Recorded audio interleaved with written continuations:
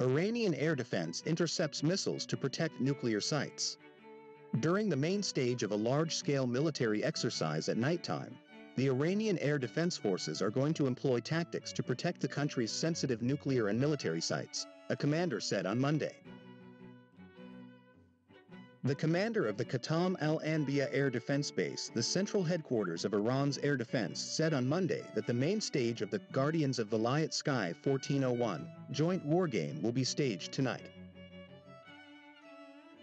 General Kader Rahimzadeh said the exercise will begin at midnight, covering two-thirds of the Iranian airspace over an area of more than 1 million square kilometers. He noted that the Air Force will fly over 100 manned and pilotless aircraft to simulate a hostile airstrike against sensitive military and nuclear sites, such as the Fordow nuclear facility, during which the performance of the air defense systems will be assessed. The general also unveiled plans to display a series of air defense systems that are kept in subterranean tunnels, are raised above the ground when needed, and return to the former position afterwards.